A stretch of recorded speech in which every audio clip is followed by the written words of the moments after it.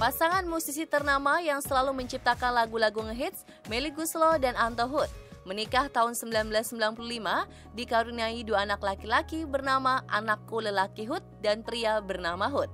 Ternyata mempunyai cara tersendiri demi menjaga keharmonisan dalam berumah tangga. Selain liburan di dalam negeri maupun luar negeri, seperti akhir-akhir ini yang selalu vakansi ke Pulau Dewata, Bali demi usaha kecilnya, Pasangan nyentrik ini selalu melakukan belanja di mana pun berada, serta melakukan hal unik dan tidak harus romantis. Karena problemnya nggak sama. Problemnya beda, attitude-nya beda, kebiasaannya beda, semuanya beda. Jadi masing-masing pasti punya cara-cara sendiri untuk uh, persoalan-persoalan romantis. Uh, jadi saya juga nggak ngerti bagaimana menjadi romantis itu. Apakah kayak gini buat Meli itu romantis? Apa enggak? Saya juga nggak tahu. Jadi karena buat saya saya juga bingung romantis itu bagaimana caranya menjadi romantis itu juga. Kebetulan saya juga nggak tahu romantis itu kayak gimana. Jadi pas gitu